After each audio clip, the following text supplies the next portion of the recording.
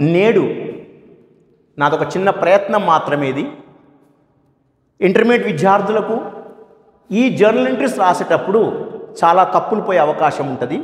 వారి కోసం ఒక చిన్న ప్రయత్నం చేస్తున్నాను. సో ఇది మీరు మొట్టమొదటి మనం నేర్చుకోవాల్సిన జర్నల్ ఎంట్రీస్ ఉన్న రూల్స్. ఒకటి పర్సనల్ అకౌంట్ ఉంటుంది అంటే వ్యక్తుల పేర్లు. ఇందులో వ్యక్తుల పేర్లు మరియు కంపెనీల పేర్లు ఉంటాయి. ఇందులో రూల్ ఏంటిదంటే debit the receiver credit the giver. అంటే ఎవరికైతే వస్తున్నాయో డబ్బులు వాళ్ళ అకౌంట్ డెబిట్ చేయాలి ఎవరైతే ఇస్తున్నారు వాళ్ళ అకౌంట్ క్రెడిట్ చేయాలి. ఇచ్చేవాడి అకౌంట్ క్రెడిట్ పుచ్చుకునేవాడి అకౌంట్ డెబిట్ చేయాలి. అలాగని రియల్ అకౌంట్ రియల్ అకౌంట్ అంటే ఒక కంపెనీ యొక్క ఆస్తులు ఒక మన యొక్క వ్యాపారం యొక్క ఆస్తులు ఇవన్నీ ఉంటాయి ఇందులో. అలాగని ల్యాండ్ మషినరీ క్యాష్ స్టాకు ఇంకా చాలా ఉంటాయి అనుకోండి. అయితే ఇందులో రూల్ ఏంటి debit what comes and credit what goes out. వచ్చేదాన్ని డెబిట్ చేయండి వెళ్ళిపోయేదాన్ని క్రెడిట్ చేయండి అంటే బిజినెస్లోకి ఏమొస్తున్నాయో డెబిట్ చేయి వెళ్ళిపోయేదాన్ని క్రెడిట్ చేయండి. సింపుల్గా గుర్తుంచుకోవాల్సిన విషయాలు ఇవి. నెక్స్ట్ మనకు నామినల్ అకౌంట్ ఉంది. అంటే వ్యాపారం అంటే కేవలము ఇచ్చేవాడు పుచ్చుకునేవాడు మరి ఆస్తులే కాకుండా ఖర్చులు ఆదాయము నష్టాలు లాభాలు ఉంటాయి. మరి వాటి గురించి నామినల్ అకౌంట్ ఉంటుంది. ఇక్కడ ఏం చెప్తున్నారు? పర్చేజ్ అనేది ఖర్చే. ముందు ఖర్చు చేయాలి ఆ తర్వాత మనకు డబ్బులు వస్తాయి. డబ్బులు ఎలా వస్తాయి? అమ్ముతే సేల్స్ ద్వారా. మరి శాలరీస్ పేమెంట్ చేయాలి మరి డిస్కౌంట్స్ ఉంటాయి వగేరా వగేరా చాలా ఉంటాయి. అవన్నీ కూడా నామినల్ అకౌంట్లో వస్తాయి. మరి అక్కడ రూల్ ఏం చెప్తున్నది? డెబిట్ ఆల్ ఎక్స్పెన్స్ లాసెస్ అంటే ఖర్చుల్ని నష్టాలను మనం డెబిట్ చేయాలి. మరి credit all incomes and gains లాభాలను ఆదాయాలను మనము క్రెడిట్ చేయాలి. క్రెడిట్ చేయాలి. ఈ యొక్క రూల్స్ మనకు గుర్తుంటే ఈ సమ్ ఈజీగా చేయొచ్చు. జర్నల్ ఎంట్రీస్ జర్నల్ చేయాలంటే మొట్టమొదటిగా మనము ఈ ఐదు కాలం మనకి వేళ్ళు ఐదు ఉన్నాయి కాబట్టి ఐదు కాలమ్స్ ఉంటాయి. ఒకటి డేటు పర్టికులర్స్ వివరాలు అంటాము ఎల్ఎఫ్ లెడ్జర్ ఫోలియో అంటాము డెబిట్ అమౌంట్ క్రెడిట్ అమౌంట్ రాసుకోవాలి. పైన journal entries the books of ఎవరి పుస్తకాలు రాస్తున్నాం ఆయన పేరు రాయాలి. For the year ended or year ending ఏదైనా రాసేయండి నా ఇక్కడ మొట్టమొదటి ఎంట్రీ మనం చూద్దాం. జనవరి ఒకటో తారీఖున రిసీవ్డ్ క్యాష్ ఫ్రమ్ అక్బర్ అన్నది. అంటే అర్థమైంది అక్బర్ నుంచి మనకు డబ్బులు వచ్చినావి. మరి ఇచ్చేవాడు ఎవరు ఇక్కడ? అక్బర్. మరి అక్బర్ ఎందులో వస్తాడు? పర్సనల్ అకౌంట్లో వస్తాడు. మరి రూల్ ఏం చెప్తుంది? ఇచ్చేవాడి account credit చేయమంటుంది. Credit the giver. Credit the giver. అయితే మనకి ఇప్పుడు అక్బర్ ఇస్తున్నాడు కాబట్టి ఆయన అకౌంట్ క్రెడిట్ చేసినాం. మరి అలాగనే మనకు నగదు క్యాష్. వస్తుందా? పోతుందా? వస్తుంది. మరి మన రియల్ అకౌంట్ ఏమని చెప్తుంది? Debit what comes in. వచ్చేదాన్ని డెబిట్ చేయమంటుంది. కాబట్టి మనం ఏం చేశాము? క్యాష్ అకౌంట్ని డెబిట్ చేశాము ఇచ్చేవాడి అకౌంట్ అక్బర్ అకౌంట్ని క్రియేట్ చేశాం.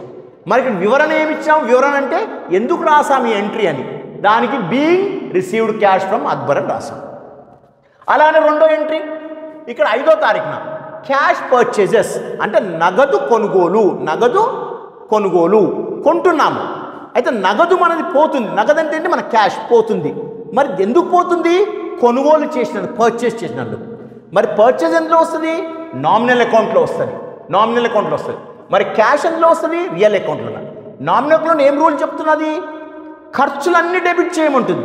డెబిట్ ఆల్ ఎక్స్పెన్సెస్ మరి పర్చేస్ ఖర్చు కాబట్టి పర్చేస్ అకౌంట్ డెబిట్ మరి కొన్నందుకు క్యాష్ పోతుంది కాబట్టి టు క్యాష్ అకౌంట్ అని రాసాము being purchase of goods in cash అని రాసాము మరి ఏడో తారీఖున పెయిడ్ క్యాష్ టు రామ్ ఇక్కడ ఏం చేశాము? రామ్కి డబ్బులు చెల్లించాము. అంటే ఇక్కడ ఎవరికి బెనిఫిట్ అవుతుంది? ఎవరు లాభపడుతున్నారు? రామ్కి డబ్బులు ముడుతున్నాయి. ఆ సందర్భంలో మన క్యాష్ ఏమవుతుంది? మన నగదు పోతుంది. మరి రామ్ అన్నది ఎందులో వస్తుంది? పర్సనల్ అకౌంట్లో వస్తుంది. మరి క్యాష్ అన్నది ఎందులో వస్తుంది? రియల్ అకౌంట్లో వస్తుంది. కాబట్టి రామ్ అనేవాడు డబ్బులు పోతున్నాయి కాబట్టి డెబిట్ ద రిసీవర్ ఆయనకు ముట్టుతున్నాయి రామ్కి. కాబట్టి రామ్స్ అకౌంట్ డెబిట్ మన క్యాష్ వెళ్ళిపోతుంది. మన బిజినెస్ నుంచి బయటకు వెళ్తుంది కాబట్టి క్రెడిట్ వాట్ గోస్ అవుట్ కాబట్టి to cash account రాసాము narration being paid cash to Ram అని రాసాం మరి పన్నెండో తారీఖున జనవరి ఇరవై రెండు వేల ఇరవై నాలుగులో క్యాష్ సేల్స్ అన్నాము ఇక రెండు అంశాలు అంటే గుర్తుంచుకోండి. ప్రతి జర్నలింట్లో రెండు అంశాలు ముందు గుర్తుంచుకోవాలి. ఏం జరిగినాయి ఒకటి క్యాష్ ఒకటి సేల్స్ ఈ క్యాష్ సేల్స్ అన్నది ఏంటిది?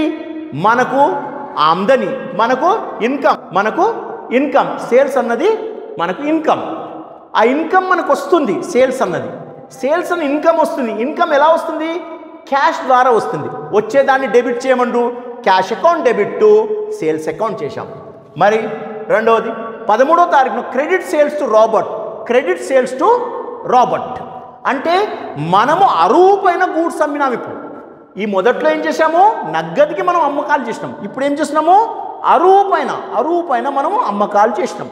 అరువు పైన అంటే ఉద్దర్లోనా అంటాం జనరల్గా. ఇప్పుడు మనకు డబ్బులు రావట్లేదు తర్వాత వస్తాయి. ప్రస్తుతం మాత్రము మన యొక్క గూడ్స్ వెళ్ళిపోతున్నాయి మన గూడ్స్ పోతాయి. అంటే మనం సేల్ చేశాము మనకు ఆమ్దని వచ్చింది కానీ నగదుగా రాలే ఇక్కడ. ఎవరు ఇవ్వాలి మనకు డబ్బులు? రాబర్ట్ ఇవ్వాలి.